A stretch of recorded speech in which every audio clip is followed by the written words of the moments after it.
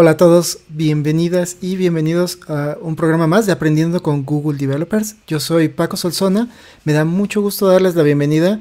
Hoy tenemos a dos queridos amigos y expertos de nuestro programa Google Developer Experts que van a estar hablando de eh, cómo hacer Progressive Web Apps, que son estas apps totalmente modernas y que funcionan en, eh, en el web. Así que, sin más, me da mucho gusto darles eh, entrada a Nico, que, nos acompaña acá, y eh, un segundo porque tengo aquí algo que está haciendo ruido.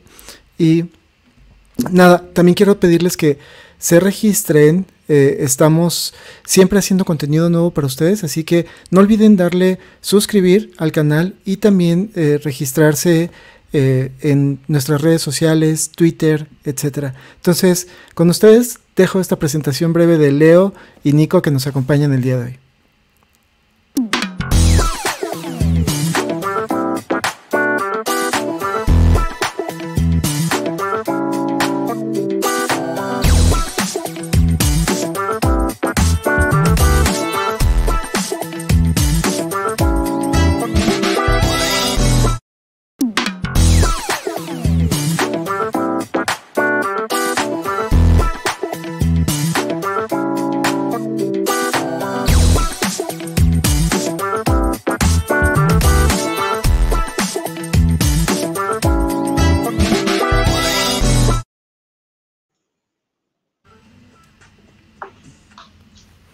¿Qué tal? ¿Cómo están? Bienvenidos al programa. Buenas, muchas gracias por recibirnos. Eh, la verdad que es un gusto estar acá. Hola Paco, ¿qué tal? Un gusto también compartir con Nico. Ya lo hicimos varias veces, pero, pero eso está bueno siempre, compartir con la comunidad. Totalmente. Hablábamos antes de entrar en, escena que tenía mucho tiempo que no nos veíamos, tal vez desde diciembre del año pasado. Eh, virtual y en persona tiene más de un año. Y la verdad es que se extraña mucho nuestros eventos de comunidad y, compartir, así que eh, de verdad un placer tenerlos por acá. Y, además agradecerles el, eh, el, esfuerzo porque para ustedes es un poco más tarde, Nico desde Argentina y Leo desde el otro lado del charco eh, nos acompaña desde Portugal, así que gracias por el esfuerzo y ¿cómo, cómo están? Todo muy bien, la verdad, bueno, Acá, por suerte, eh, acá, bueno, son las 8 de la noche, eh, ya cerrando la jornada y, esperando para la cena ahora. Eh, pero todo muy bien. contento también, bueno, como decía recién, de estar acá, de poder participar y hablar de vuelta con, vos y, bueno, con toda la, comunidad de por sí. Así, bueno, nada, un poco un general. Desde mi lado un poco lo mismo. hoy pensaba que lo bueno siempre de, estas situaciones por ahí es, es, que toda esta virtualidad nueva que, estamos viviendo, en mi caso, ayuda mucho a que siga conectado con las comunidades de, Latinoamérica en general o de Argentina en particular.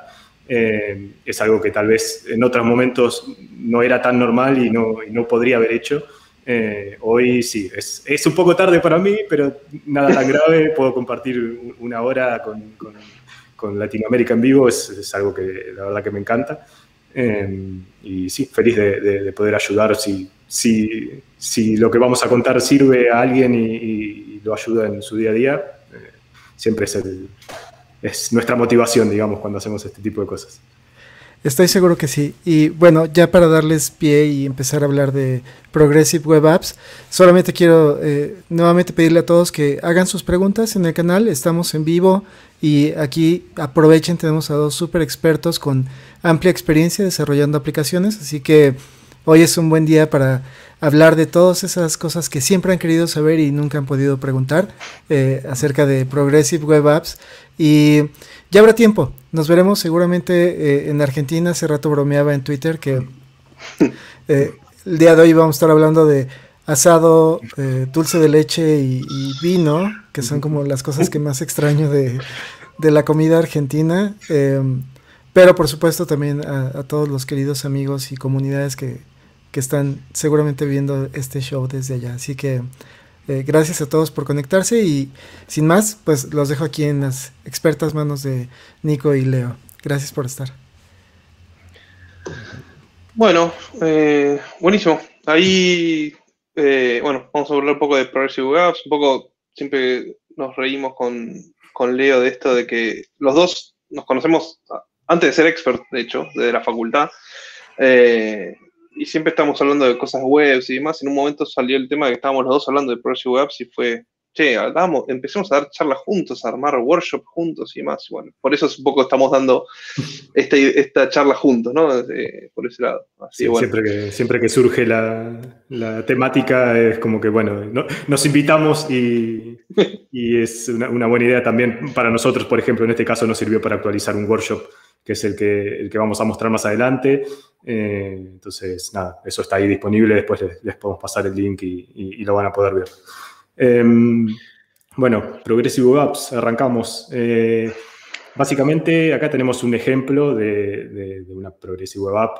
Los screenshots ya tienen un, tiempo, un poco intencionalmente, para que vayan viendo cómo todo esto va, mutando también con el tiempo y, los mismos navegadores van mostrándolo de distintas maneras. Eh, pero bueno, en este caso lo que estamos viendo es una web tradicional eh, que nos ofrece esta opción de agregarla al, home screen eh, con, un, banner que aparece ahí. al hacerlo, vamos a, tener ese icono en, el, la home screen de nuestro dispositivo y también lo, vamos a ver que la aplicación se, empieza a integrar en, todos los menús del sistema operativo. Cuando la abrimos ya empezamos a ver que ese, no, parece tanto una web y parece un poco más una aplicación nativa con, esa, con ese splash. Eh, y después, una vez que estamos dentro, eh, en este caso es algo que se puede, se puede personalizar, pero en este caso no tenemos ninguna UI del navegador, pero lo que estamos viendo ahí es, es una web a pantalla completa, podemos decir, eh, y, es una de las, de las cosas que nos permiten hacer las, las Progressive Web Apps. Digamos que es por donde comenzaron en en, sus inicios, eh, pero hoy por hoy el término es mucho más que solo eso. Y, bueno, vamos a ver si, si, podemos ir recorriendo un poco ese camino de, de, todas estas funcionalidades y, cosas que nos ofrecen las, las Progressive Apps. Entonces, bueno, poco ya eh, le adelantó el tema del camino, ¿no? O sea, es un gran camino, hay mucho para ver dentro de eso. Obviamente vamos a hacer una introducción de, dentro de eso. Eh, uno de los temas para tener en cuenta es esto de, bueno, Progressive Web Apps. ¿Qué, es eso de Progressive? Y eso viene mucho de la mano de Progressive Enhancement, que es un concepto que ya venía de hace años, digamos, ¿no? Progressive Web Apps ya tiene sus años ya ahora. Eh, Progressive Enhancement es algo todavía anterior. Y viene del, lado, a mí este, este, ejemplo me gusta mucho y siempre con Leo se ríe porque eh, me gusta decirlo bien. ¿sí? Sí, sí, esta, esta, idea de, eh, del tema del sonido, ¿no? O sea, Normalmente, eh, bueno, podemos tener un parlante, tenemos sonido mono, podemos tener dos parlantes y jugar con el tema del sonido estéreo, mejoramos la calidad ya de, estamos hablando de otro tipo de calidad, empezamos a sumar parlantes y tenemos surround, eh, tenemos, bueno, 5.1, 7.1 eh, con más parlantes, cada vez tenemos mejor experiencia, llegamos al punto de 16.2, ¿no? Ya un poco extremo, donde vemos al helicóptero, sentimos que nos está pasando por al lado. Pero muchas veces eh, lo único que necesitamos es escuchar el sonido, no necesitamos que nos hablen de, así en sonido, no me sale la palabra, bueno, todo, este envolvente. envolvente, pero por completo, envolvente, ¿no? todo ya sería como eh, real directamente. Eh, entonces, bueno, este, tipo de, este tema de, la única, a veces necesitamos escuchar el sonido, digamos, no escucharnos, por ejemplo, ahora con esta charla, digamos, poder escucharnos nada más, necesitamos que mucho más. Entonces, este concepto del objetivo de las tareas principales es el centro, y después vamos a ir mejorando la calidad, digamos, ¿no? de, la experiencia del usuario en ese aspecto. Esto un poco es, mientras más capacidad, mientras, sí, más capacidades tengamos, va a mejorar la experiencia del usuario, digamos, ¿no? en este caso, bueno, si tenemos muchos parlantes y que yo, obviamente vamos a escuchar mejor los helicópteros y toda la bola, eh, eh, pero por, por otro lado, el, lo vamos a poder ver la película en este caso igual que en cualquier situación, digamos. Es, un tema de capacidades y de la experiencia que uno recibe. En la web esto se ve bastante, hay un montón de ejemplos. Uno muy claro, por ejemplo, es en, el caso de los inputs, donde, por ejemplo, tenemos, si ponemos un input con un tipo mail, los teclados en los celulares en especial van a cambiar y van a tener, por ejemplo, un arroba, un punto com, eh, más disponibles porque es algo que justamente, justamente, resulta útil. Lo mismo si pasa, si ponemos un número, va a cambiar el teclado numérico y demás. eso nos mejora la experiencia, pero alarga el input, si no nos cambia el teclado, podemos ponerlo igual, digamos, ¿no? Esa es un poco la, idea de, de, hacer esta cosa progresiva y ir mejorando sin quitar la idea original, que es el foco, que es, bueno, completar un input en cualquier cosa, ¿no? Entonces, para eso hay tres pilares. Ahí lo voy a dejar a Leo. Sí, tal cual. Eh, hay, tres pilares que van cambiando con el tiempo, los nombres se van modificando, eh, las definiciones se agrupan y se desagrupan en distintas, de distintas maneras. Eh, pero bueno, hoy por hoy los, pilares de, las Progressive Web Apps son, son estos tres. el primero, que son capable o, capaces, podríamos traducirlas, no sé, tiene que ver con esto de las capacidades que, venía diciendo Nico. Básicamente, la, idea de, una Progressive Web App es que, eh, más allá de lo que vimos al principio de, poder agregarla al, a la home del dispositivo y que se parezca a una aplicación cuando se inicia, después también queremos poder interactuar eh, y, tener a nuestra disposición todas las cosas que nos ofrecen los, dispositivos, en particular tal vez los, celulares, eh, que tienen un montón de sensores, tienen un montón de capacidades de hardware que hasta hace un tiempo desde, desde los navegadores era imposible accederlas. Y entonces, en base a un poco la, idea de las Progressive Webs nace ahí con eh, todas las nuevas APIs y todas las nuevas funcionalidades que, hoy por hoy el browser nos, nos permite y que tiene integradas. Eh, no sé, por nombrar alguna, eh, usar Bluetooth, usar USB. Más adelante las vamos a ver en, en, en otros slides. Pero, pero son muchísimas. Em, otro de los, de los pilares eh, es que sean instalables. Em, esto es básicamente lo que vimos al principio, de, que se pueden eh, integrar al, al, dispositivo, em, pero va, más allá de solo tener un, icono y, poder acceder a la, a la web desde, desde, el icono. Eh, tiene que ver también con cómo cada vez se integran más con el sistema operativo. Al inicio era solo eso, un icono, una especie de acceso directo en, el, escritorio. Después pasó a, empezar a aparecer dentro de nuestro menú de aplicaciones. Después empezó a aparecer como dentro de las configuraciones de las aplicaciones y podíamos empezar a hacer cosas ahí. Y hoy por hoy se, se integran mucho más allá y, se sienten realmente como una aplicación nativa y entonces si nos llega una notificación en, nuestro sistema operativo de escritorio, lo vamos a ver junto con todas las demás eh, notificaciones del sistema operativo, por ejemplo. Em, y el tercero de los pilares es que, sean reliable o, confiables. Em, y esto tiene mucho que ver con eh, la, conexión, por ejemplo, eh, es, una de las partes más importantes tal vez, que la web desde sus inicios siempre necesitamos una, conexión a Internet para poder hacer lo que quisiéramos hacer. Eh, las Progressive Web Apps vienen a, romper un poco con ese paradigma y a, plantear que nuestro, nuestras webs tienen que también ser posible de, ser accedidas sin tener conexión a Internet o con una conexión que no es la mejor.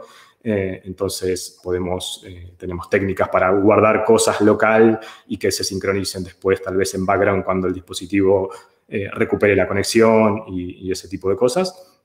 pero también un poco, va un poco más allá y, tiene que ver con que se tienen que sentir fluidas, que cuando yo scrolleo tiene que responder rápido, que que, la experiencia en, general eh, tiene que cargar rápido, las, todas las métricas de performance, que hay muchísimas, después vamos a ver algunas herramientas para medirlas, eh, tienen que, o tenemos que trabajar para que sean eh, de, lo, mejor posible, como para que la experiencia en, general sea, sea confiable.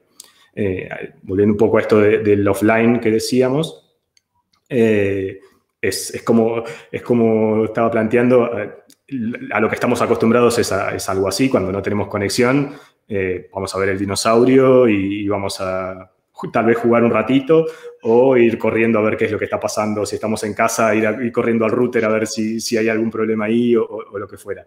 Eh, la idea es que podamos, por ejemplo, si nuestra web es una web del clima, tranquilamente nos puede mostrar la última información que tiene disponible y, podría funcionar inclusive sin conexión, eh, mostrándonos algo así y, que se actualice en el momento en el que recuperamos la conexión, por ejemplo. Pero, pero para el usuario es una experiencia muchísimo mejor porque si bien no va a tener todo totalmente actualizado, va por lo menos a poder ver eh, una, una, aproximación, digamos, en este caso del, clima para, para la semana.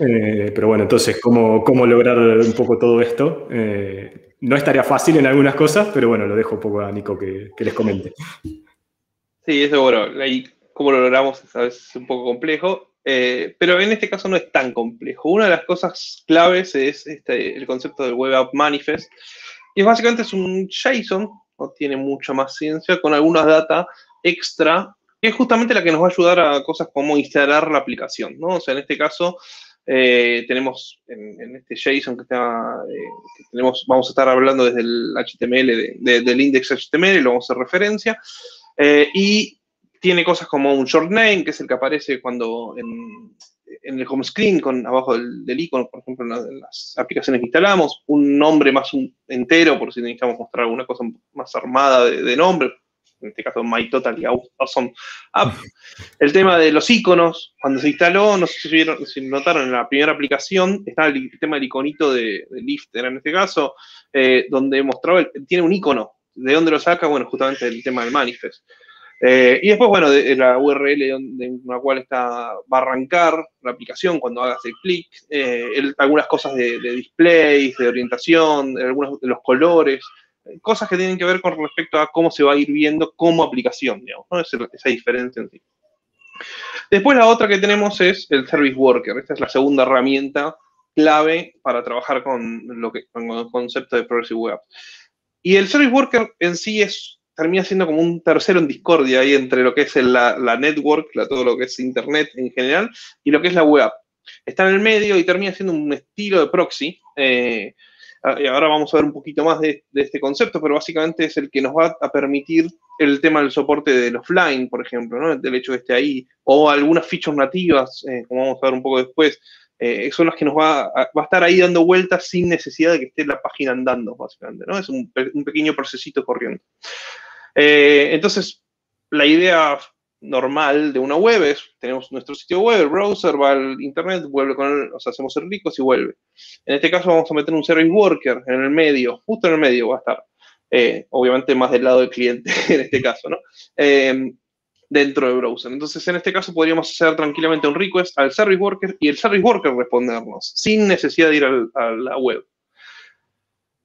Algunas propiedades que tiene el Service Worker es que solo va a funcionar en HTTPS. Eso también muchas veces va con el concepto este de eh, las eh, Progressive Apps son seguras y va por este lado, digamos, ¿no? De que justamente eh, viene con el tema del Service Worker que está asociado a que va a funcionar en HTTPS. No tiene acceso al DOM porque justamente está corriendo por separado y de hecho se ejecuta por separado del sitio. Esa es otra de las grandes propiedades. Eh, el hecho de que se ejecute por separado hace que, y por la dinámica de cómo funcionan muchas de estas cosas, eh, solo se acepten requests asincrónicos. Vamos a estar trabajando mucho con eventos y vamos a estar trabajando, eh, bueno, con cosas async. Entonces, hay ciertas APIs del browser que no vamos a poder acceder porque son sincrónicas.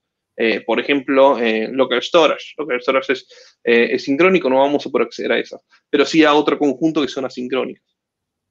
Y después, bueno, hay una más que es el que el service worker, eh, que hay un solo service worker por alcance. Esto tiene que ver más, por ejemplo, para hacerlo más eh, simple, el hecho de que de un sitio web va a obtener un solo eh, service worker. Entonces, eso nos permite también jugar un poco con, de no tener múltiples service workers para el mismo sitio y cosas de ese estilo, que nos facilita bastante la vida a la hora de desarrollar.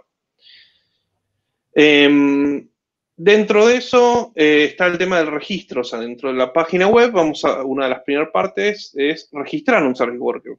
Tenemos nuestro código HTML, JavaScript normal, en este caso el index HTML, lo, lo podemos poner ahí, y vamos a estar registrando el service worker en ese caso. Ahora, acá es donde empiezan a jugar la parte de progressive que decía antes. Si el navegador, por ejemplo, en este caso está bien claro el hecho de decir, si el navegador eh, tiene el soporte para hacer if worker, que es el primer if que está ahí, entonces los registro y hago toda la operatoria y demás, y puedo, tengo hasta, escucho eventos de que si lo registró correctamente o falló y puedo actuar en consecuencia. Si no lo tiene, no, no hago nada. básicamente no va a tener soporte offline, no va a tener un montón de estas cosas que estamos agregando eh, gracias al Service Worker. Pero el sitio va a seguir andando, ¿no? Esa es un poco la, idea de este concepto de Progressive Web Apps y demás. Eh, y bueno, y es, fíjense que el Service Worker es un archivo por separado y se va a registrar. Obviamente esto tiene un ciclo de vida, y acá lo voy a dejar a Leo para que explique un poco el ciclo de vida que tiene el Service Worker, ese procesito que está corriendo por detrás. Sí, eh, bueno, el, ciclo de vida tiene, creo que es de lo más complicado para entender, al, menos al principio. Eh, uno, tiene varios dolores de cabeza hasta que entiende que esto que decía Nico, de hay solo un service worker por, por sitio, si tenemos múltiples eh, pestañas del mismo sitio, entonces el service worker no va a tomar control hasta si ya tenemos uno instalado y lo queremos actualizar, el Service Worker no va a tomar, el nuevo no va a tomar control hasta que hayamos cerrado todas las otras eh, y, que realmente pueda, pueda hacerlo. Eso lo hace para evitar, como decíamos, eh, tiene acceso a APIs de, storage, por ejemplo. Entonces, si, si tuviéramos dos versiones distintas en, en dos pestañas distintas podríamos llegar a tener problemas de almacenamiento y de en una borrar con datos que son para la otra, y bueno, y en fin. Entonces, está pensado para, evitar problemas, pero es difícil entenderlo en un, comienzo. Eh, tiene estas etapas, donde la primera eh, es la de la instalación, básicamente. Eh, cuando se instale, esto ya es dentro del Service Worker, podemos escuchar ese evento de, instalación y, es, el mejor momento que, tenemos como para poder guardar en, nuestras, nuestra calle todo todos los requests o los recursos, en este caso, que vamos a necesitar después para funcionar offline, por ejemplo. Entonces podemos decir que guarde nuestro index HTML, nuestros estilos, nuestro JavaScript y un fallback por algún motivo. Em, después, cuando, cuando el, Service Worker se instale, se active, perdón, que es esto que decía, no se va a activar inmediatamente, se va a activar eh, en, el momento en el que, en el que solo tengamos eh, una, pestaña de ese, de, ese, sitio o hay maneras de, forzar las activaciones y demás, pero, pero bueno, el flujo normal eh, no va a ser inmediato. Y, y bueno, también podemos escuchar este evento de, de Activate y en este caso es, eh, cuando se activa es el mejor momento para decir, bueno, a ver, de las cosas que teníamos guardadas en calle, cuáles siguen, siguen sirviendo, cuáles eh, ya tenemos una versión más nueva porque cambiamos los estilos, porque cambiamos el JavaScript o lo que sea. Entonces, en este momento, como ya tenemos lo nuevo guardado, podemos decir, borremos todo, todo eso viejo que, ya no necesitamos, porque el almacenamiento en los dispositivos sigue siendo escaso eh, en muchos casos, entonces siempre hay que tener cuidado con estas cosas. Eh, porque puede pasar que lleguemos a, la cuota máxima de almacenamiento y ahí vamos a estar en, un problema.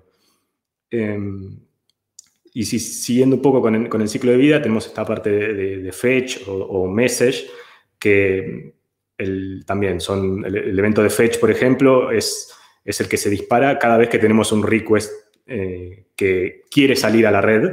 En ese caso, nosotros lo que podemos hacer es hay muchísimas estrategias distintas, después vamos a ver que hay herramientas que ya las tienen implementadas, entonces no se evitan también eh, cometer errores en, ese tipo de cosas, pero hay estrategias de puedo devolver lo que tengo en calle y en ese momento ir a actualizarlo a la red, pero el usuario ya está viendo lo que, lo que teníamos en calle porque es algo que no necesita ser actualizado inmediatamente, o podemos hacer el, una estrategia inversa de primero lo voy a buscar a la red y después lo guardo en caché, porque si justo no tengo red cuando, cuando quiero acceder, entonces en ese caso solamente uso lo de caché.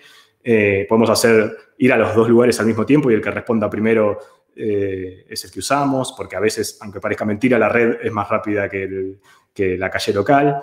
Em, en fin, hay un montón de estrategias distintas que, se pueden usar para, para manejar estos requests y devolverle al, usuario el request que realmente pidió o uno que nosotros consideramos que en ese momento es, lo mejor o es lo único que podemos hacer. Em, siguiendo entonces con, eh, como comentaba ahí, hay muchas cosas que se puede hacer con la calle. Eh, para hablar un poco más del API ahora, Nico. Sí, bueno, ahí justamente la calle es una de las opciones para guardar esa información que tenemos de los requests. Entonces, por ejemplo, bueno, acá tenemos el, diagrama original, eh, que antes dijimos, bueno, lo podemos bypassear y no ir hasta el, hasta el servidor. Eh, de repente, acá con el tema del storage, podemos preguntarle a la calle, como decíamos recién Leo, y devolverlo directamente desde ahí. Entonces no tenemos que, tenemos una versión del sitio activa, esto es lo que sería, por ejemplo, algo offline. No estamos yendo a internet para nada, estamos todos dentro del browser usando el service worker y todo el tema de calle. ¿Qué es la calle? ¿Cuál es la, anatomía que tiene? Eh, en este caso es simplemente un key value, o sea, tenemos de key, tenemos el tema del request, el request entero, o sea, tiene que ver con la, URL y demás, y la respuesta, la respuesta entera. Entonces ahí tenemos, por ejemplo, bueno, el HTML, tenemos los JavaScript enteros, todo el archivo entero. Eh, por eso, bueno, era lo que, decía Leo, que hay que cuidar un poco las, formas, digamos, y, y, limpiar lo que ya no se usa, digamos, porque estamos guardando un sitio entero eh, en memoria, en definitiva. ¿no? otra forma de guardar, esto es lo que decía antes del tema de caché APIs, es una de las formas de guardar información. La otra es tener tenemos la posibilidad de tener una base de datos indexada, IndexedDB, eh, para guardar otro tipo de data, eh, de cualquier tipo. Y esta opción justamente viene también como algo que muchos calculadores pueden estar acostumbrados a trabajar con web, es usar local storage, que es súper simple también, key value, y, guardamos los valores. La diferencia es que, bueno, estas funcionan con, eh, de forma sincrónica y la otra, el, y local storage no. Entonces podemos usar IndexDB, por ejemplo, para guardar un poco más de información y, bueno, trabajar un poco de, de, forma offline. Por ejemplo, con un to podríamos guardarnos los ítems localmente y después cuando estemos internet de vuelta, mandarlos todos juntos o hacer ese tipo de procesos.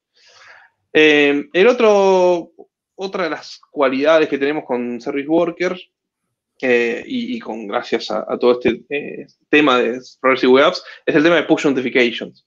Que eso es algo muy útil, en especial cuando queremos hacernos pasar o queremos que la experiencia sea lo más parecido a una aplicación, sí, una aplicación nativa, digamos, ¿no? ya sea móvil o desktop también. Entonces, acá, por ejemplo, en el caso del Service Worker, en el caso del, sitio vamos a tener que registrarnos y demás para poder recibir esas eh, notificaciones, pero una vez que estamos escuchando notificaciones, en justamente el Service Worker es donde vamos a poder escuchar eh, el evento push y vamos a obtener la data y demás. Y, por ejemplo, en este caso eh, se está disparando una notificación, que es la notificación nativa, después vamos a ver un ejemplo. y, bueno, en este caso, después una vez que, eh, hagamos, eh, aparezca la notificación, si hacemos clic, también podemos escuchar el evento y disparar el, otro, otra opción más, que sería abrir la ventana que querramos. ¿no? En este caso, está abriendo directamente la de Web Advisory, por ejemplo, como para dar un ejemplo. Entonces, eso es eh, una opción, digamos, por ese lado. Obviamente, así como decíamos push notification, decíamos otro tipo de cosas, tenemos un montón de opciones. Acá, por ejemplo, en esta página web What Web Can Do Today, pueden ver qué cosas eh, puede hacer su browser para hacer distintas, depende del browser que es lo que les voy a mostrar acá. Y, por ejemplo, podemos tener acceso a Bluetooth, USB, eh, hasta, bueno, offline storage. Hay un montón de, de opciones de, que hoy en día ya pueden acceder y demás. Pero todavía falta ahí una parte. Eh, ahí es como, hay un gap entre las aplicaciones nativas ahí tenemos un, amigo en común, eh, Yuri, que siempre dice, no, esto de, que creo que estaba dando vueltas por ahí, eh, esto de las de Progressive Apps, no, esto nada que ver con Native y demás. O sea, queremos todavía seguir achicando la brecha. Eh, pero bueno, eso Leo creo que tiene un poco más la respuesta. Yo todavía no la tengo. Sí, justo estaba pensando en la misma persona cuando, cuando empezaste a hablar de, esto, porque siempre peleamos entre nativo y, web. Eh, afortunadamente existe algo para, cerrar esa, brecha, para, enfocarnos en cerrar esa, brecha, que se llama Project Fugu. Eh, no es más que un, nombre para un, para un, proyecto dentro de Chromium. ¿Por qué tiene ese nombre? Eh, el, Fugu es, un pez que preparado correctamente puede ser delicioso, pero en caso que no esté tan correctamente preparado puede llegar a ser mortal. Entonces, esto va un poco de la mano con que estamos agregando muchas funcionalidades que, eh, como, decía recién, si, no están correctamente preparadas pueden traer problemas de seguridad, problemas eh, graves que la web es, es retrocompatible por naturaleza. O sea, si yo abro hoy un sitio de hace 20, 30 años, lo voy a poder seguir, seguir viendo.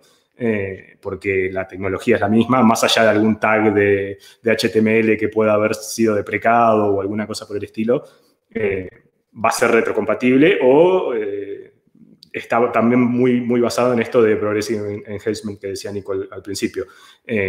va a funcionar, se va a ver distinto, mejor, peor, pero va a funcionar, o debería.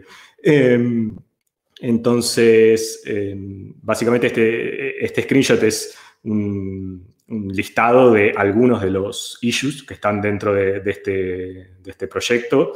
Eh, esto es el, issue tracker de, Chromium, o sea, ahí están todas los, desde los bugs hasta las features que se quieren implementar en, Chromium. Y hay un tag que es Project Fugu, donde van a poder ver todo lo que está hoy por hoy pasando, eh, en qué estado están, qué, qué, tan implementados están o no, digamos. Eh, pero, pero son, son muchas, son, son un montón de cosas y siempre tendiendo a, eso, a poner el foco en cerrar esa brecha y en agregar las cosas que más sentido tiene para poder usar eh, en la web.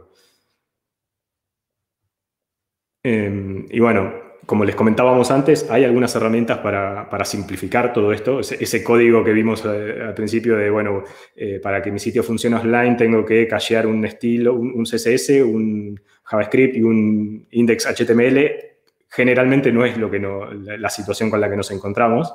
Eh, hoy por hoy todos los sitios que construimos tienen, eh, tienen alguna herramienta de build que va a transpilar código, que va a hacer cosas eh, seguramente, que va a agregar, que, no nos va a dejar un, nombre que siempre es, el mismo y claramente no vamos a querer ir a actualizar el, Service Worker con la lista de nuevos archivos cada vez que, hacemos un build. Entonces, bueno, para eso tenemos varias herramientas. Eh, la primera es, Workbox, eh, que básicamente es, eso, es un, conjunto de librerías para, facilitarnos la vida de, cuando estamos implementando Progressive Web Apps, muy enfocadas en simplificar la escritura del, Service Worker. Eh, nos va a dar estas estrategias que les decía antes ya implementadas, entonces podemos decir, para este request quiero usar la estrategia que se llama de esta manera, que es ir primero a la red y después al caché o viceversa o todo ese tipo de cosas. Em, background Sync es algo que todavía no nombramos, pero es una herramienta muy poderosa que, está pensada para, por ejemplo, eh, esas interacciones cortas donde sacamos el celular del bolsillo, escribimos un mensaje, ponemos enviar y lo guardamos de nuevo y ni nos fijamos si, salió o no salió y tal vez estábamos eh, en un subterráneo o en algún lugar sin conexión eh, y hasta que eso en la web tradicional se perdería y nunca le llegaría a la otra persona y dependiendo de qué tan bien implementado o no esté, vamos a ver un mensaje de error tal vez. Em, eh, Background Sync apunta a que, a que ese, tipo de interacciones se puedan sincronizar en, segundo plano, digamos, inclusive sin, sin, tener el sitio activo, porque de nuevo dependen del service worker, como, como decíamos antes, que no necesita que el sitio esté corriendo. Eh, entonces, cuando recuperamos conexión, envía el mensaje que teníamos pendiente, por ejemplo.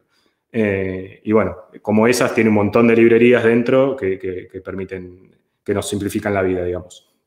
Y la otra que vale la pena mencionar, que es bastante conocida, pero eh, siempre, siempre es bueno mencionarla, es, Lighthouse, que es una herramienta para auditar la calidad de, nuestro sitio, no solamente Progressive Web Apps, o sea, está enfocada eh, en estas cuatro categorías que vemos ahí, performance, accesibilidad, mejores prácticas, SEO, y también una categoría de, Progressive Web Apps. Em, está integrada en las DevTools, tiene su extensión de Chrome, tiene su CLI, tiene un paquete de Node. La podemos usar como nos guste. Tiene alguna web eh, como PageSpeed Insights, por ejemplo, donde podemos eh, poner una URL de un sitio y le va a correr la, auditoría de Lighthouse. Eh, entonces, hoy por hoy es como el estándar medio de facto de, para medición de, de métricas.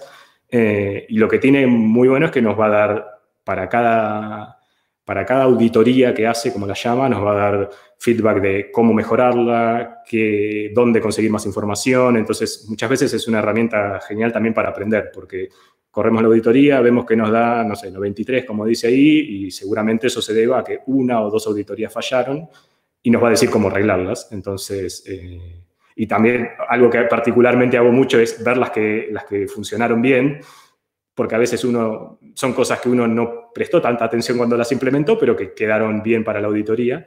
Eh, y, en base a eso también uno aprende mucho porque lee, lee cuáles son las mejores prácticas para cierta, cierta auditoría en particular. Eh, y por último, bueno, web.dev, eh, en general es el, sitio que siempre recomendamos cuando alguien nos pregunta por dónde empezar. Eh, tiene, mucha documentación, tiene documentación agrupada en todas estas categorías que veníamos viendo, como métricas, por eso web apps, en fin, tiene, muchos artículos que están bastante actualizados y que son siempre como el punto de partida para mí para, empezar cualquier implementación y después a partir de ahí uno siempre, va, encontrando e investigando un poco más. Y ahora tenemos una, demo. Eh, este es el workshop que les comentábamos antes, que, también implementamos con, Nico en, su momento, que está ahí disponible en GitHub. Eh, está actualizado a ayer, así que lo, bueno es que, es que debería estar eh, bastante al día, si no siempre decimos, sean, siéntanse libres de, mandar eh, pull request y, ayudarnos a, que siga, porque también lo encontramos como una gran manera de, ofrecer material en español que no siempre está disponible, por eso lo escribimos totalmente en español o tradujimos algunas, algunas páginas. Em, pero, pero bueno, nada. Eh, ¿Querés ir contando, Nico? Sí, sí, voy a cantar un poquito y bueno, entonces esto es un poco eh, lo, que vamos a estar trabajando, lo que vamos a estar mostrándoles, porque la idea es, esto también pueden accederlo, creo que ya lo compartieron el link ahí en, YouTube. la idea de esto es justamente eh, que después puedan en ver más de esta información, bueno, tiene todos los módulos ahí eh, como para ver un poco más en profundidad estos temas. Eh, nosotros vamos a mostrar como más práctico directamente como la, a la solución ya corriendo y algunas cosas más puntuales, eh, pero si quieren pueden agarrar y arrancar y ir haciendo paso por paso todos los ítems, que me parece que es algo interesante, digamos, para, para tener en cuenta. Bueno, acá, por ejemplo, para mostrar así un pantallazo rápido, está explicado cada ítem y bueno, vamos a ir viendo algunos de estos temas de, bueno, cómo ir avanzando a la hora de, crear nuestra Progressive Web en base a nuestro sitio ya existente, digamos, ¿no? en estos casos.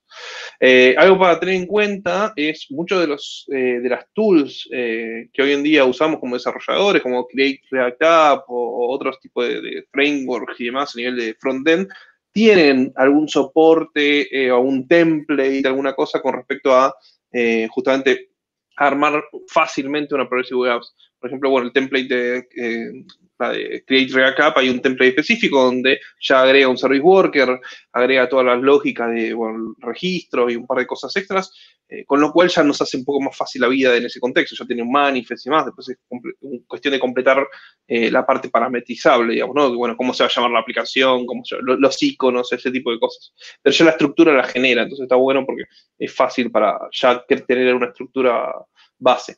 Eh, después, bueno, aprovecho a mostrar un poquito rápido dos sitios, este PWA Builder, uno en su momento había estado trabajando eh, y bueno, sigue avanzando eh, y, agregando cosas, también una opción fácil para eh, generar una Progressive Web en base a eso, también incluso con un starter y demás. Y bueno, WebDev, que ahora después, si nos queda un tiempito, podemos revisar un par de cositas interesantes, pero algo rápido, en la parte de Test My Site, pueden probar sus sitios y hacer un, un informe así como los de eh, Lighthouse y después, por ejemplo, acá tienen, bueno, un montón de información, entre ellas Progressive Apps, y acá pueden ver, eh, tienen toda una guía de un montón de ítems eh, específicos, o sea, tienen para estudiar bastante si quieren seguir estudiando. Así bueno, eso son un poquito de, lo que hay. Esta es nuestra pequeña aplicación, lo que teníamos dando vueltas, lo que es parte de lo que se hace en el workshop. ya viene una parte armada, bueno, es ir, ir armándola. En este caso ya tiene un manifest, ahora podemos ver, por ejemplo, lo que es el código. Tenemos en el HTML, este es el index HTML que tenemos en la aplicación. Tenemos un, eh, link al manifest, también tenemos un par de metas como el tema del color, eh, hay unas cosas con respecto al viewport para tener en cuenta, cosas así, pero bueno, acá la, parte importante que por ahora sería esta del manifest, ¿no? Y el manifest, como decíamos antes, es un, un simple JSON no es, fíjense, tiene 32 líneas en este caso, en algunos casos puede tener un poquito más, por, los iconos más que nada, porque fíjense que la mayor parte del, este JSON son los iconos. Eh, en este caso tiene tres iconos distintos. Lo, importante es cada, por las resoluciones y más, va a ir cambiando este tipo de, cosas. Eh, y bueno, un poco los, campos que decíamos antes, ¿no? Tiene descripciones, short name, eh, una star URL, la orientación, el tema de los colores, etcétera. Esta es la información con la cual se va a instalar, digamos. Entonces, si vamos de vuelta al, browser, algo importante es el tema de las DevTools, eh, que es algo muy cómodo. Ahí, se me abrió acá. Eh, vamos a sacarlo. Bueno, lo, dejo acá, después lo... Para que no me haga tanto lío. Eh, entonces, por ejemplo, acá dentro de las DevTools tenemos este concepto de application. Dentro de application tenemos la, opción de estar viendo el manifest y, cosas de este estilo acá mismo.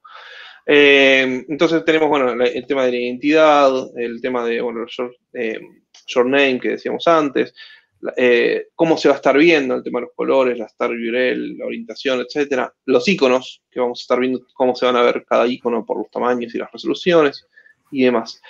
Eh, obviamente hay muchas más opciones acá de todo lo que se está viendo. Eh, fíjense que tenemos la parte de calle, podemos ver la parte de storage en general, eh, service worker y demás.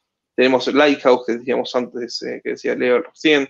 después vamos a estar corriendo un poquito más estas cosas. Entonces, hasta ahí es un poco lo que es el manifest.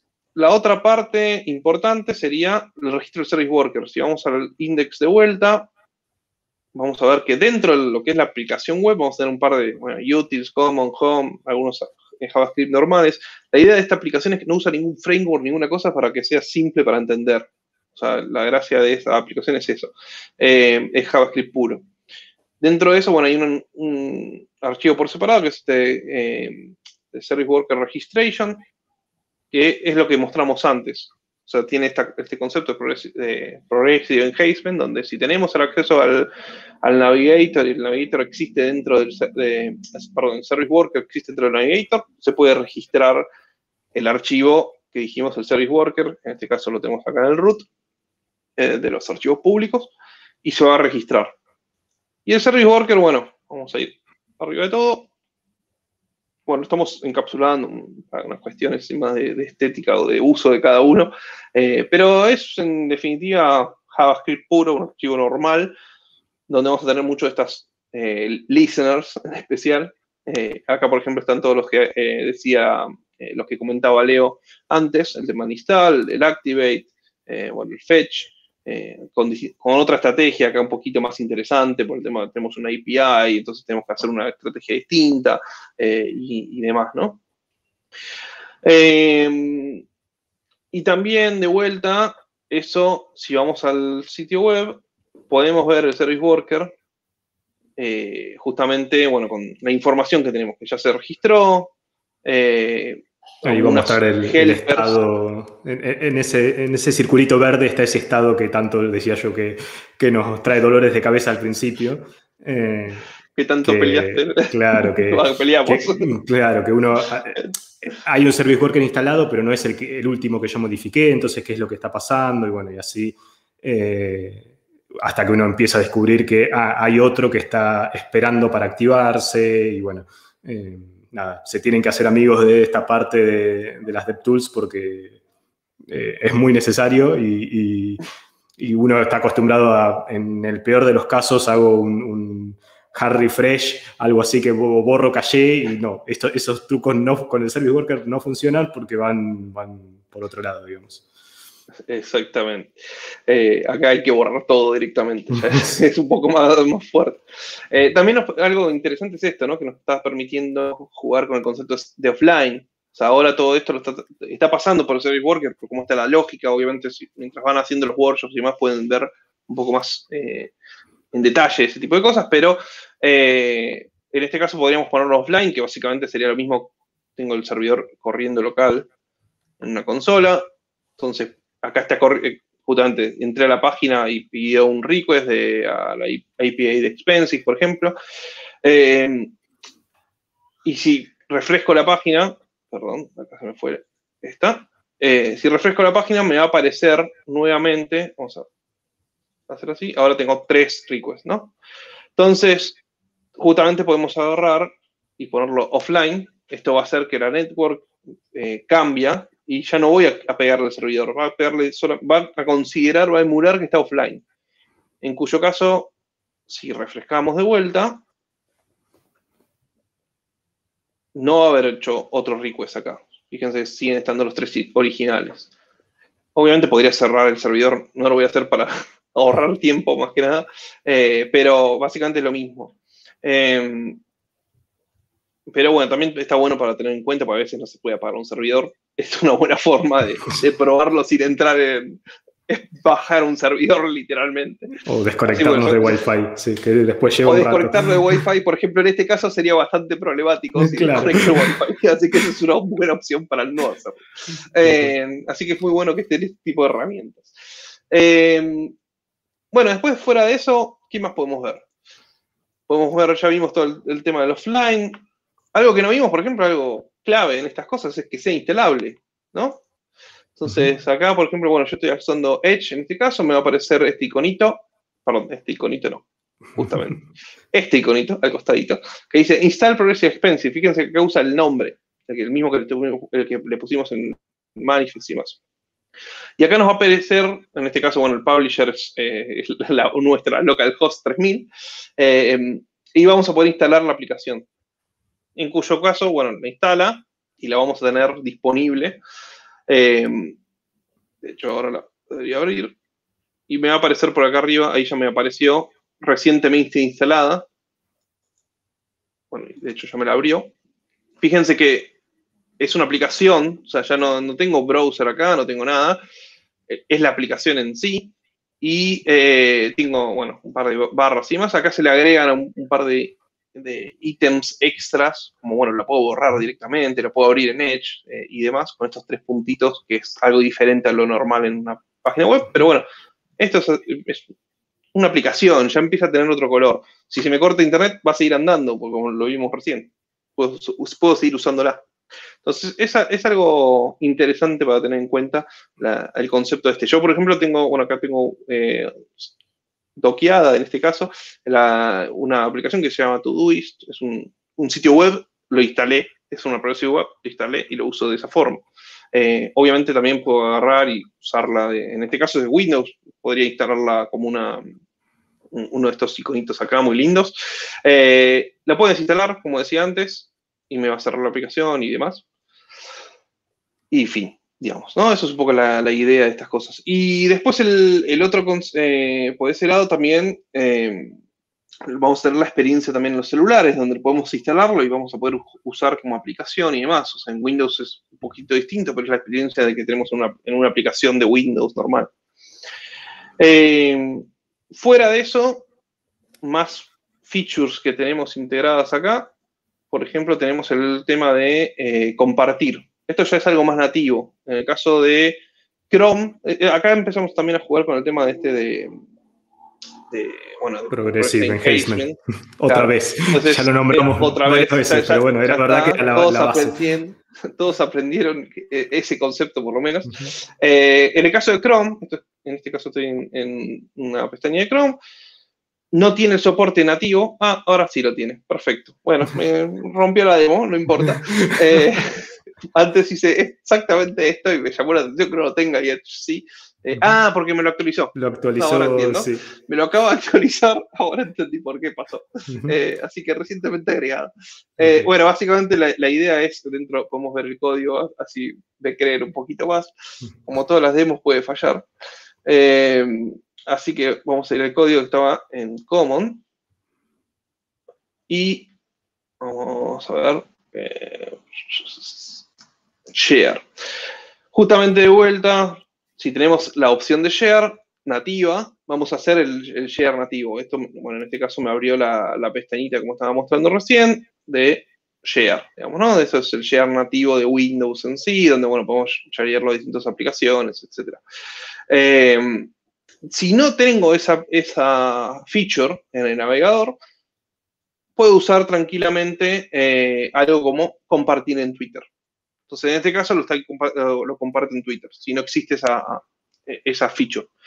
Esto era algo muy bueno antes porque siempre en la, web lo podíamos mostrar, en el desktop no, teníamos soporte de share, lo podíamos mostrar con el tema de Twitter y cuando lo abrías desde un celular de repente lo podías abrir con el, con, el share nativo de las aplicaciones, digamos, ¿no?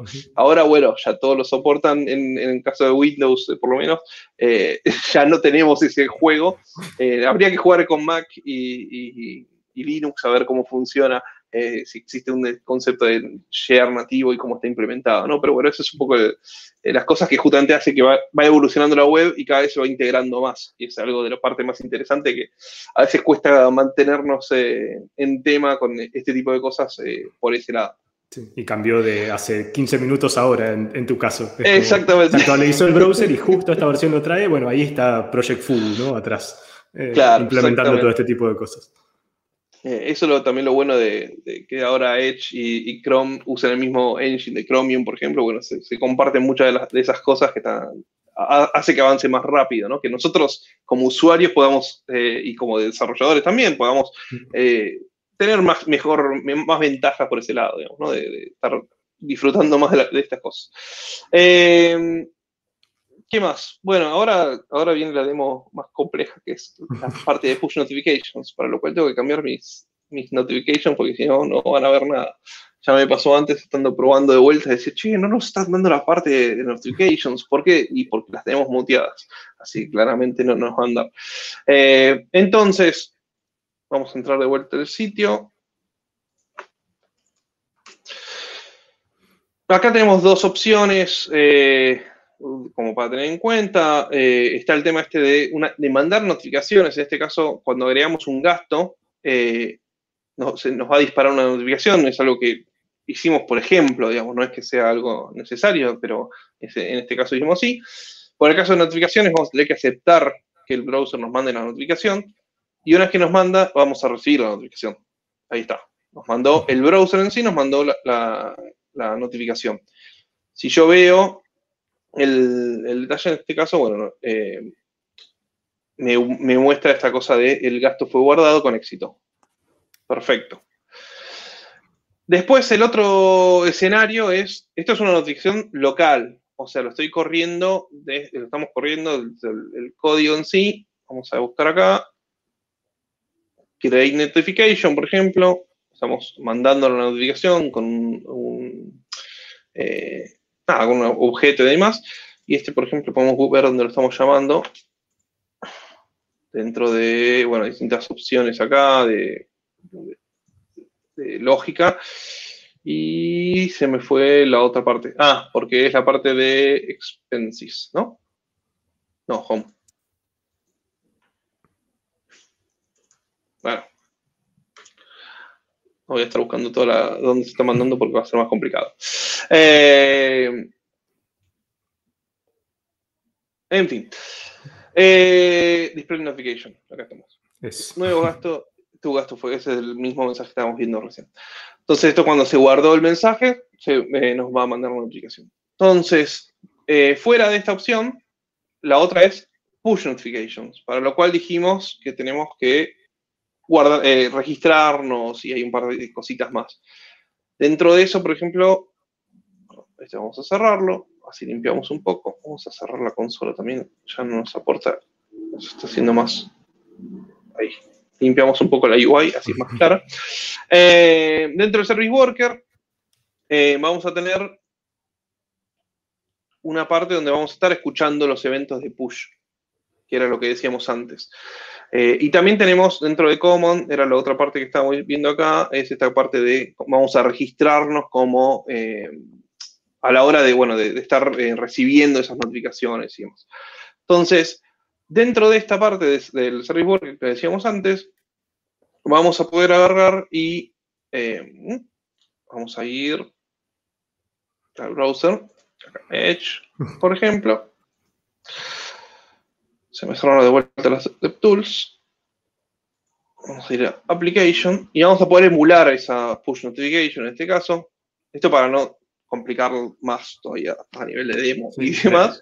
La implementación, eh, este evento, digamos que lo recibiríamos a través de un servidor que nos está enviando la push a cada una de las personas que está registrada eh, con mm, toda una clave pública, una clave privada y toda una implementación eh, de, parte del servidor y después la parte del service worker que le llega el evento y va a tener que mostrar la notificación. En nuestro caso estamos emulando el servidor con, este botón, digamos, y, mostrando la, notificación en, en, el, en el browser únicamente. algo importante, bueno, obviamente acá ya empezamos a tener como la misma idea de un servidor, de una aplicación nativa, digamos, ¿no? O sea, esto vamos a poder tener el sitio cerrado y vamos a recibir la, notificación porque el service worker va a seguir andando. Ahora, bueno, vamos a hacerlo más simple, vamos a emular esa del push notification. Entonces, de esta forma nos va a llegar una push notification. Fíjense, tiene distintas acciones, incluso distintos tipos de información. Podemos abrir el sitio y en este caso nos va a abrir otra ventana del sitio, porque es lo que vamos, ahora les muestro el código, pero básicamente es lo que estamos haciendo. Vamos a ir, en este caso, a la Expense 2. Esto está hardcodeado en la demo. Eh, la idea es que, bueno, alguien agregó podríamos hacer una notificación cuando alguien agregó algo, te llega una notificación de que, che, alguien te agregó un expense 2, en este caso con estas cosas, y navegamos a, esa, a esta información. Entonces eso es algo también interesante por ese lado. Eh, vamos a ir al, código para que lo vean. Eh, acá tenemos dos partes. Por un lado, la parte del push notification que decíamos recién, donde, bueno, tenemos un body, tiene un par de opciones, digamos, que es lo que se le manda a este, a, este evento de Show Notification, eh, donde, bueno, tiene estas cosas, tenemos el tema de la data, tenemos el primary key, esto que estamos mandando por parámetro, eh, las acciones que decimos recién, ir al sitio o cerrar la notificación, podemos poner un icono, tiene varias opciones para, para hacerlo más interesante y mostrar algo interesante, digamos, ¿no? vieron que tenía un poquito más de, era una notificación bien armada, en definitiva. Y después cuando decimos clic, va a entrar en este evento, donde en este evento, ¿qué vamos a hacer? Vamos a obtener, bueno, la notificación, vamos a obtener la data. Eh, si estamos cerrando, obviamente no nos interesa. Si la acción que se ejecutó fue que se cerró, no nos interesa hacer nada. Si no, tenemos que hacer algo, con lo cual, en este caso, bueno, vamos a obtener la primary key, lo que estamos sintiendo arriba, y de, a partir de eso vamos a estar eh, abriendo la, la pantalla, en definitiva. Eh, y cerramos la notificación, que es algo también importante. Eh, esto, con esto, bueno, justamente, como decíamos recién, podemos estar cerrando eh, alguna cosa, el, podemos cerrar el browser y va a llegar la notificación y vamos a poder jugar con este concepto de, bueno, de, estar viendo estas cosas, la notificación sí. Acá como lo tenemos que estar emulando porque no tenemos un servidor que nos mande, no podemos cerrar el sitio porque, bueno, no va a llegar la notificación, no podemos emularlo, básicamente. E, eso calculo en algún momento va a terminar hasta mejorando las DevTools al punto de hacer eso también. Fuera de eso, hasta ahí más o menos hicimos un pantallazo de muchas de las features que se hablan en el workshop. lo único que no mostramos hasta allí fue el tema del Lighthouse. Eh, bueno, acá pueden ver, tenemos distintas opciones de mobile, desktop, las categorías y, demás, em, de, todo el reporte vamos a generarlo, a, ejecutarlo.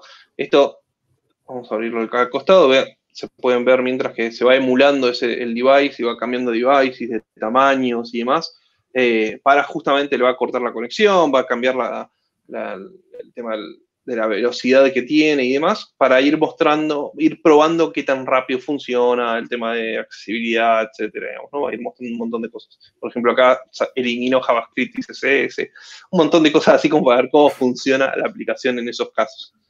A ver si sigue funcionando, un poco lo que decíamos antes, el foco es que sigan funcionando. Eh, así que bueno, ahí ahora cuando termine, perfecto. Nuestra aplicación tiene un reporte bastante interesante, bastante lindo eh, dentro de todo. Nos faltan features de Progressive Web Apps, eh, pero bueno, performance, 93 puntos. Esto, fíjense que acá un poco lo que decía Leo antes, tiene un montón de información, podemos ver oportunidades de mejora. Tenemos CSS que no se está usando, podemos borrarlo. Tenemos, podemos minificar el CSS. Nosotros en este caso, como es, no es una aplicación de, de demo, nos conviene no tenerlo minificado, pero eso nos ahorraría tiempo, digamos, eh, justamente al eliminar espacios y demás, nos va a achicar un poco de tiempo.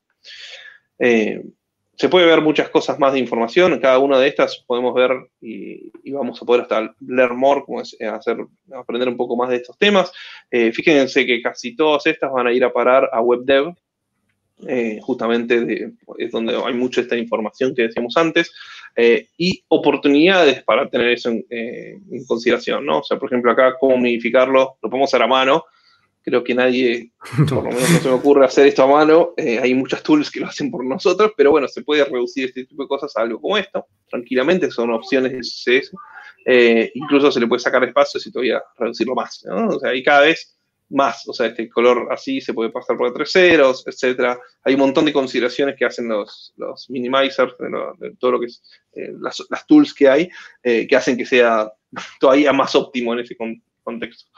Em, después, bueno, fuera de eso, como decíamos, hay un montón de información y demás muy útil. Algo muy interesante es el tema de accesibilidad.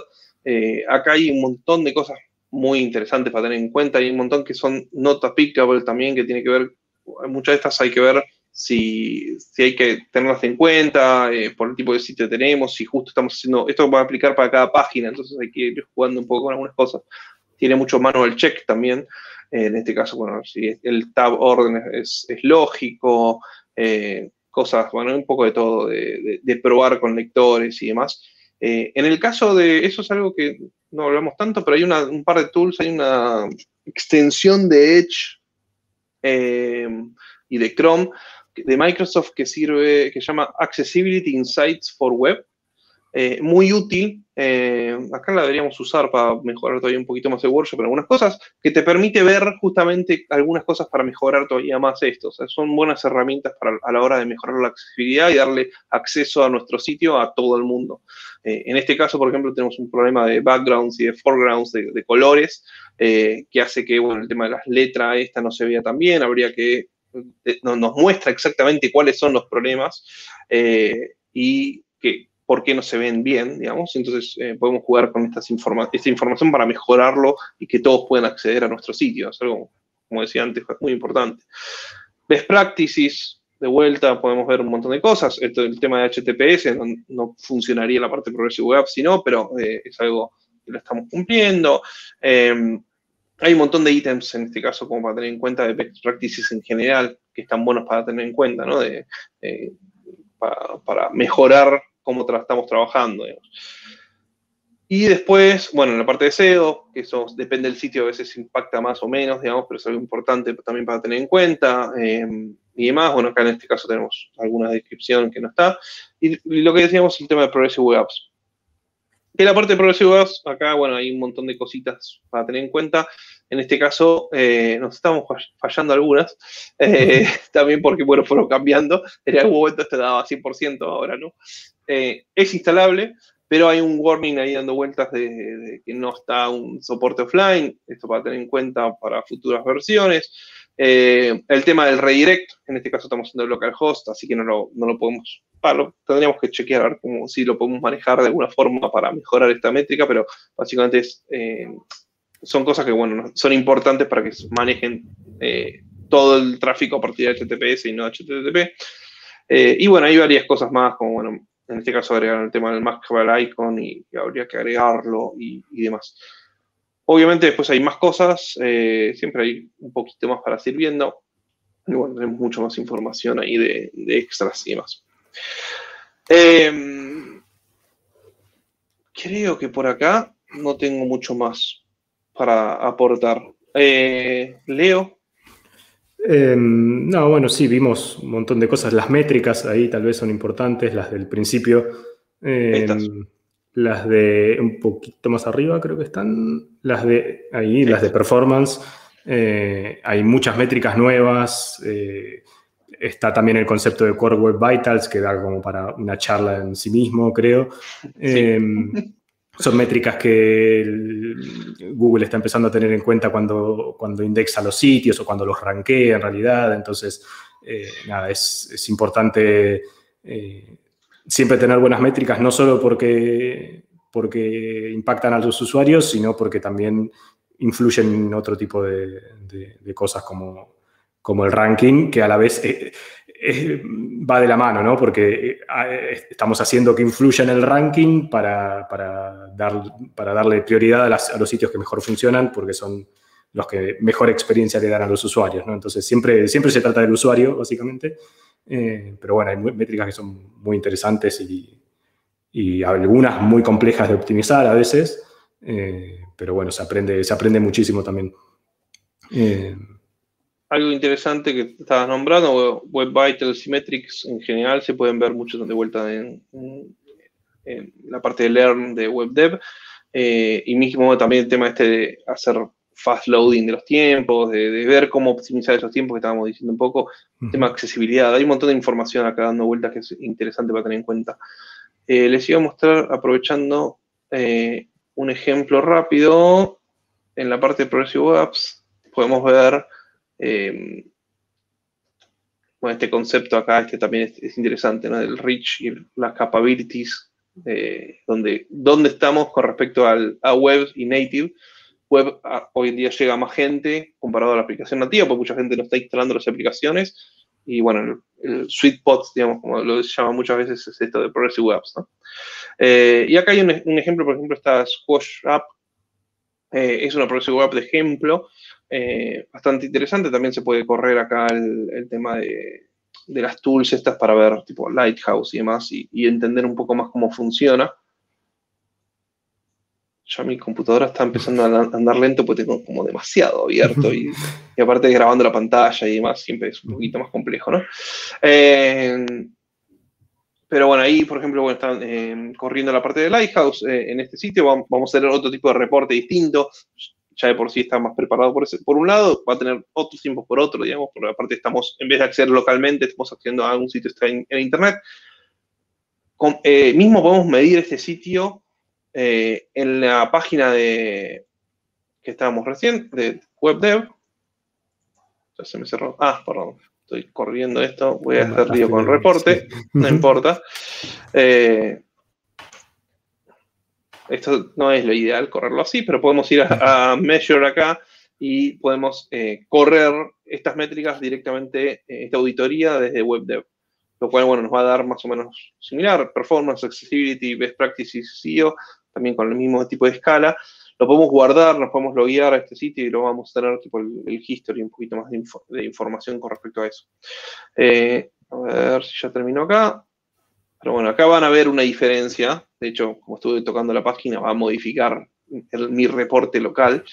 Eh, bueno, no lo modificó tanto, por suerte. Eh, pero bueno, tenemos performance 100%, ya es otro tipo de números también el SEO 100%, acá accesibilidad, se ve que agregaron alguna cosa más hace menos tiempo, entonces aparecieron un par de cosas de, accessibility que no están y que habría que mejorar eh, como para que quede mejor el, reporte en sí, digamos, bueno, cómo está funcionando. Eh, y después, bueno, localmente podemos ver un poquito más, también la misma idea, tenemos el refresh, tenemos de vuelta varias cosas. Acá no se ve. Claro, acá se me rompió porque esto fue la parte que rompí cuando refresqué, eh, pero me rompió todo el coso. Este, este realmente da mejor en cuanto a Progressive Web porque es, bueno, un ejemplo, digamos, ¿no? Acá se rompió todo, se me rompió todo por refrescar. Eh, así que bueno, son buenas herramientas para tener en cuenta, ya sea lo que mostramos antes, la parte de application, con todas las simulaciones y demás, la parte de Lighthouse con todos los reportes y, demás. Obviamente acá podemos jugar con el tema de storage y estar viendo qué está, vamos a ir al, storage de nuestra aplicación. Eh, podemos jugar acá y empezar a ver, bueno, el, storage, tenemos, qué cosas tenemos, nuestro pequeño storage acá guardando todos los ítems, los archivos de JavaScript y demás. Eh, lo que veíamos antes, el contenido está guardado entero, tenemos toda la información del request, eh, y, demás. Esa es un poco la parte. También tenemos otras tools, como el tema de security, donde vamos a ver más información. En este caso no vamos a ver mucho, pero podemos ver acá. El problema de tener muchas cosas abiertas, pero en este caso, por ejemplo, está deployado, podemos ver cosas del certificado y más, ¿no? Todo, lo que es DevTools está evolucionando muchísimo y nos ayuda como desarrolladores mucho, así que es algo para tener en cuenta. Eh, así bueno, eso. Em, creo que con eso tenemos un pantallazo de todo y quizá nos queda un ratito como para alguna pregunta, no sé. Paco, si estás por ahí, si no, te, nos dejaste. sí, fui, por un tecito y regresé. No, muy bueno, muy bueno. Em, sí, tenemos un par de preguntas. Yo tengo algunas también. Eh, primero nos preguntaba cuando estaban iniciando la, conversación, sobre todo con esta posibilidad de poder estar offline eh, con un service worker. Alejandro Tizoni pregunta, ¿es nuestra responsabilidad como desarrolladores indicarle que está offline para que sepa que la información puede no estar eh, actualizada? Eh, ahí tenemos varias cosas que me parece que podemos hacer. Por un lado, eh, sí, si al usuario le estamos mostrando información que no es la última, le podemos decir, estás offline o mostrarle la última vez en la que se actualizó el clima, por ejemplo, en el, ejemplo que mostrábamos antes, como, bueno, esta es información de hoy al mediodía, eh, puede que no, sea lo, más eh, actualizado. Eh, y después, desde el lado del, desarrollo, tenemos que nosotros identificar los casos en los que el usuario no tiene conexión y en base a eso hacer que nuestro sitio siga funcionando, básicamente. Que tome esta data que puede ser un tanto vieja, pero es lo último que tenemos, y que de algún otro lado obtenga todos los recursos que necesita como para eh, renderizarse. Hay opciones que, son tal vez que no todo el sitio funcione exactamente igual, pero al menos le damos un, un fallback que no es el dinosaurio, como decíamos antes, y que, el usuario ve que, ah, estás offline, podés llegar a ver los últimos ítems que visitaste, por ejemplo, si es un e-commerce o algo así. Em, pero después para terminar la compra vas a necesitar conexión, no sé, se puede jugar mucho con eso y no hace falta que, hagamos que todo el sitio funcione offline, porque a veces es, muy complicado. Entonces, lo ideal es ir encontrando dónde realmente vale la pena, dónde perdemos los usuarios cuando están offline y, empezar por ahí, me parece. Sí, totalmente. Yo eh, llegué a utilizar un par de opciones eh, offline, por ejemplo, en noticias. Em, periódicos, etcétera, que están súper optimizados para eso y usualmente ya saben si estás viendo, por ejemplo, las noticias del día que va a ser clic probablemente en dos o tres artículos y eso es lo que está offline. Si empiezas a navegar las secciones del periódico, ya eso claramente no está. Entonces, sí, totalmente. Y hay que balancear muy bien, ¿no? Entre lo que descargas al, dispositivo, porque obviamente eso impacta en la red, eh, sobre todo si son datos, eh, también le cuesta al usuario por, por la parte de datos, no solo por el almacenamiento. En esa parte diría que sí hay que ser como muy consciente y amable. Eh, por acá tenemos un visitante que, se llama Yuri Camacho que pregunta, justo hablábamos de él hace rato, que ya se anotó, por cierto, para hacer uno con guantes y hacer un versus nativo versus web app. Pero nuestro querido Yuri pregunta, en el caso de aplicaciones tipo Uber y donde se hace mucho uso de hardware, ¿es aconsejable utilizar las PWA, las Progressive Web Apps? Siempre, yo siempre digo que depende. Hay, por ejemplo, eh, no sé, Google Maps, tenemos el mismo ejemplo. Es como empezaron a, armar aplicaciones más light porque a veces eh, tenemos, no sé, eh, versiones de, dispositivos que no necesitan la última animación del mapa cuando empieza a navegar y demás. y, recortando algunas de esas cosas se puede, se puede mejorar mucho la experiencia. Si bien perdemos efectos, tal vez, eh, el usuario en el fondo lo que quiere es consultar el mapa. Eh, entonces, eh, yo diría que siempre depende de dónde tenemos el público. Si, tal vez una aplicación como Uber, que, que uno cuando la usa, la usa seguido, tal vez tiene más sentido descargarme la aplicación, pero si es un sitio donde compro una vez al año algo, eh, tal vez ese es un, usuario que va más para la web y que si tiene una Progressive Web App, más allá de si la instala o no la instala, eh, con darle la mejor experiencia en web, eh, yo creo que gana mucho más que con, una aplicación. claro. No sé, Nico. el, tema creo que ahí está, el tema es, fundamental es si le instalaría la aplicación o no. Digamos, ¿no? Eso es algo importante. Eh, normalmente en esos casos muchas veces O sea, en el caso de la aplicación de Uber o, en el caso de Lyft que teníamos ahí, quizás es más para salir de paso, entonces me conviene y, la instalo en el momento rápido para zafar, digamos, ¿no? Porque digo, no, me bajé la, la, aplicación, entré al sitio, me pido el coso, quiero poder acceder rápido. Eh, no es lo mismo que cuando estás usando la aplicación ya más tiempo y, donde hay, en esos escenarios ya es necesario las dos cosas para mí. O sea, necesitas la aplicación nativa porque lo vas a usar más y, demás. Y también necesitas la aplicación web eh, buena, digamos, quizá con, no con todas las features que tiene la, aplicación nativa y no ahí como decía Leo, reducida en unas features, en algunos efectos, algunas cosas como para que tenga, que funcione bien, un poco lo que decíamos antes, que sea justamente una, opción que ande. Eh, así que eso es la parte, parte clave por ese lado. Claro, sí, totalmente de acuerdo. Yo recuerdo en los inicios de Progressive eh, un par de los ejemplos más interesantes que, teníamos. Uno era justamente una aplicación tipo Uber para ciudades menores en la India, creo que se llama OMA, eh, mm. que justo se movieron a la aplicación Progressive porque su clientela, su target eran usuarios con dispositivos de muy baja gama y tener una aplicación instalada pesada, digamos tipo Uber, eh, no era opción. Entonces los usuarios utilizaban la Progressive Web App porque cuando no estaba en uso el, espacio utilizado, el almacenamiento era mínimo.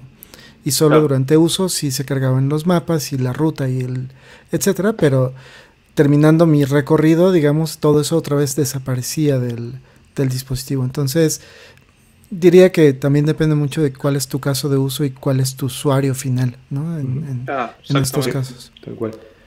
Em, y, creo que eso me lleva a la siguiente pregunta que hace también Yuri, que ¿qué empresas que recomiendan o qué empresas están utilizando hoy PWAs que sean como tal vez insignia o ejemplos interesantes para, para, para notar? Me, gusta que Yuri está. Eh, en cualquier momento, bueno, lo, terminamos de convencer y va a empezar con Progressive Webs. Eh, pero fuera de eso, un ejemplo, para mí, uno de los más claros en ese aspecto es Twitter. La aplicación de Twitter eh, es igual a la nativa. no hay mucha vuelta, yo la uso y es igual. la de. Después, obviamente, ahora, bueno, están agregando algunas features nuevas, esto de parecido a lo que es ahí se me fue, eh, Clubhouse y cosas así, donde empiezan a, tener audios y cosas así. Bueno, ahí ya no creo que esté la Progressive Web, por lo menos no me fijé, pero creo que no está. Eh, pero bueno, hay cosas que sí van, a estar, van, finalmente van a estar. Eh, después, fuera de eso, la que contaba antes, por ejemplo, es una interesante, Todoist, es una aplicación, un Todo, no tiene mucha vuelta, es un estilo de Asana o Backlogs, así en general, digamos, no hay mucha vuelta. pero también yo la uso instalada y funciona bien en ese aspecto, tiene una experiencia de cuando se actualiza, hay que avisarle al cliente, digamos, como para que actualice el service worker, que reinicie la aplicación, entonces tiene una experiencia bastante agradable por respecto a eso. Hay pequeñas cositas de eso, es una buena, me, gusta como instalada por ese lado. Em, de acuerdo. Bueno, Leo tiene un par de ejemplos ahí. Participé en, algunos desarrollos, sí. Eh, después, lo que iba a decir es, tal vez no, no tiene que o sea, cuando hablamos de Progressive Web App, no necesitamos eh, implementar todo. O sea, no necesitamos que esa lista de, que teníamos en Lighthouse eh, esté completamente verde, porque no. Eh, de nuevo, hay que pensar, yo siempre opino lo mismo, ¿no? Hay que pensar en el producto, en nuestros usuarios, qué realmente tiene sentido. en general, lo primero que viene a la cabeza de cualquier persona al frente de un producto es necesitamos notificaciones, porque porque sí, necesitamos bombardear al usuario, pero después es, no, hay que usarlas responsablemente, entonces hay que un poco manejar eso. Eh, después, no sé, eh, agregarla al dispositivo, al, escritorio, digamos, o no, puede tener sentido, ¿no? Dependiendo de, qué se trate la aplicación, porque eh, en el fondo Progressive es de nuevo eso, ¿no? Es como dar la mejor experiencia con features que hasta hoy no se podían, porque eran exclusivas de las nativas. Eh, entonces, inclusive si el usuario tiene que escribir la URL y entrar y, o buscar en Google para entrar, porque uno, uno ya no escribe nunca el .com, escribe hasta el .com y, hace que Google lo lleve. Eh, eh, inclusive en ese caso lo que necesitamos es darle una buena experiencia en, todo el proceso de lo que sea que esté haciendo, pidiendo un taxi, comprando una pizza o, o alguna otra cosa. entonces, tal vez lo estamos usando como concepto, estamos usando algunas funcionalidades en algún sitio sí y en otro no, y está bien que así sea porque no, necesariamente tenemos que usar todo.